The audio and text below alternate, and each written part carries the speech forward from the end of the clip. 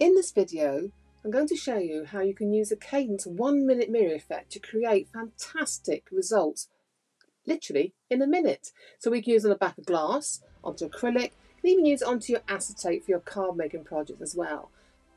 Very, very simple to use with professional finish. Let's begin. Here I'm working on the reverse of a glass plate because I want to make this a mirrored project. And I'm using the one minute mirror effect and has a lovely simple pump to use that we can use to spray. So all you're going to do is you're going to take the bottle and we're going to give it our first coat.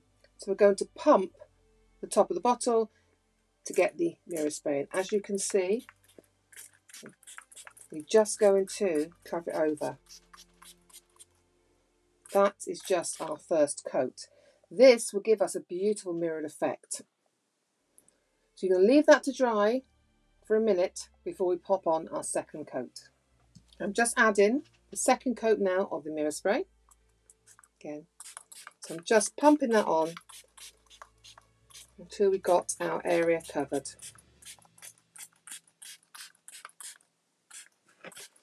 Then you're going to leave that to dry for a minute.